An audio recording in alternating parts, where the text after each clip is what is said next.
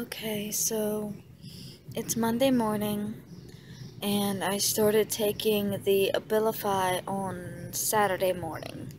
So I took the Abilify Saturday morning, and then I slept for five hours.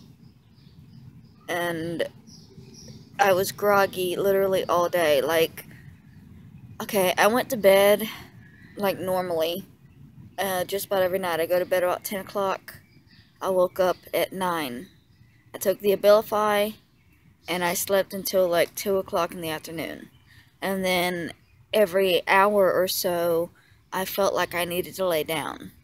Like all day Saturday, I was out of it. I was in and out of falling asleep. I was groggy. I couldn't think.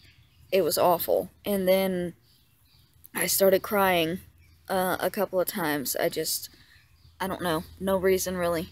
I just broke down. Uh, again, yesterday, I did the same thing. I took the Abilify. I slept for another four or five hours. I'm not sure exactly how long I did sleep again, though. Um, but I felt a little better. I wasn't as groggy.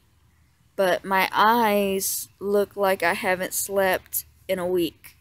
And I don't understand why, because I've literally been doing nothing but sleeping for the last two days. And my eyes aren't showing that. Um, I did not take the Abilify this morning, and the reason is because uh, I'm moving to the other house in a couple of hours.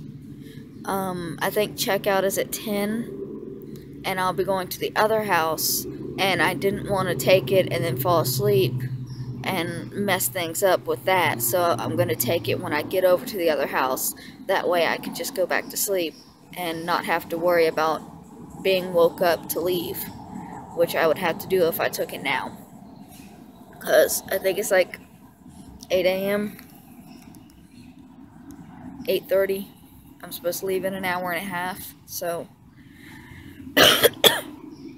I'll be taking it a little off schedule, but still it's not that bad. I'll still be taking it. I'm not liking it, but I'm still going to take it. I'm hoping that it'll get easier if I keep taking it. But my mind tells me it's not going to. My brain keeps telling me to stop taking the bullshit because I'm tired of feeling groggy. But I promised that I would do what the doctor told me to. So I'm going to keep taking it and just pray that I adjust to it quickly and I stop feeling like this. I will make another video later updating showing my new room when I move.